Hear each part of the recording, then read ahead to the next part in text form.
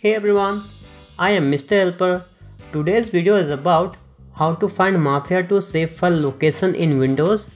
This video is also for Steam users and Macintosh users. That's been said, let's get started.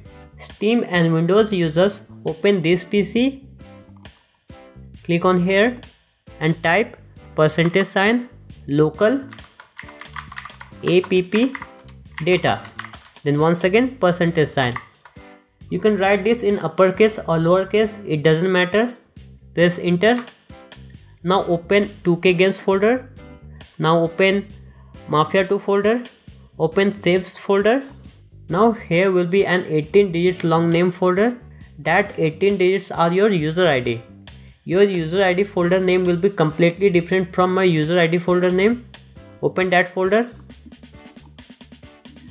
now all the files you are having here is a part of your Mafia 2 save files. Now it's your choice. You can backup all these Mafia 2 save files or you can overwrite it with a new one. Okay. Before I tell you where you can find Mafia 2 save file location in Macintosh, let me tell you this. If you don't know, I have a second channel also named as Spapno.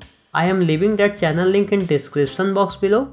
Once I get enough subscribers on that channel, I will start live streaming and posting new videos on that channel. Okay, so I hope to see you there. Now let's get back to the topic. To be honest, the best I can do for Macintosh user is I can show you this text file which contain the save file location of Mafia 2. I hope this makes sense to Macintosh users. I have created a separate playlist on how to find games save file location and some of those videos are how to find Mafia 2 Definitive Edition save file location, how to find GTA 5 save file location and many more videos. Every week I am adding new videos for you all. If you are interested then check the description box below. There will be a link of that playlist. Consider checking that playlist. You may like it. Now it's time to say goodbye. Let me know what you think about this video.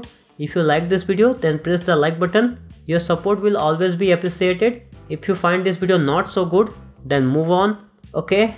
So that's all for today. Until then take care. Have a nice day and i will see you next time. Bye